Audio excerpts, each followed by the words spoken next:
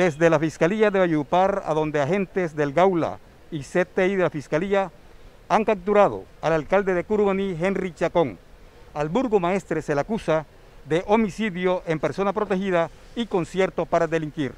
Hasta las instalaciones de la Alcaldía Municipal de Curumaní llegaron funcionarios del CTI de la Fiscalía General de la Nación para dar cumplimiento de una orden de captura vigente contra el alcalde Henry Chacón Amaya en el momento en que se disponía a ingresar a un Consejo de Seguridad liderado por la Gobernación del Cesar tras los actos criminales que se han registrado en esa población en los últimos días. Chacón es investigado por la muerte de la concejala de ese municipio, Ana Cristina López, de 60 años, a manos de paramilitares el 26 de noviembre de 2003, poco antes de que terminara su primer mandato como alcalde de esa localidad. La mujer asesinada de cuatro balazos y de acuerdo con la investigación, habría denunciado presuntos vínculos de dirigentes políticos de la zona con los paras. En octubre de 2011, Chacón ganó las elecciones para volver a ser alcalde de Curumaní, pero poco después, ex integrantes de las AUC testificaron en su contra ante Justicia y Paz, señalándolo de tener nexos con esta organización ilegal y de ser determinador del crimen de la concejala Ana Cristina López. Los desmovilizados Wilson Poveda Carreño, alias Rafa, quien fuera segundo al mando del Frente Resistencia Motilona de las Autodefensas, quien fuera segundo al mando del Frente Resistencia Motilona de las AUCE, y Néstor Quiñones Quirós, alias Yuca, entre otros, acusaron a Chacón como uno de los políticos de la región que estarían detrás del crimen de la corporada.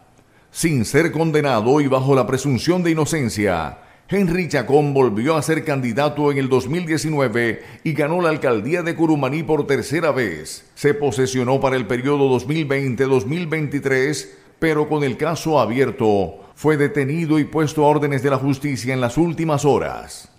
Chacón ha reiterado que es inocente. Son testigos falsos condenados por un juez de la República que les quitó el beneficio de justicia y paz, sostuvo el mandatario sobre los testimonios que lo involucran en el crimen.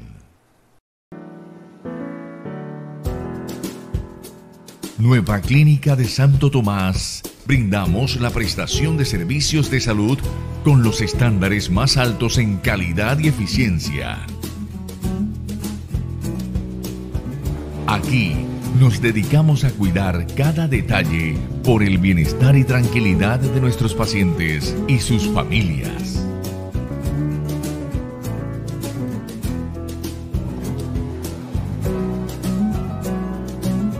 Comprometidos en entregar seguridad, confianza y tranquilidad. Urgencias 24 horas.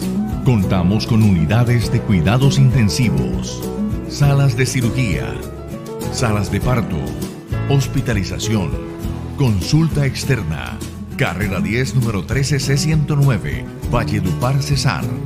316-808-7016.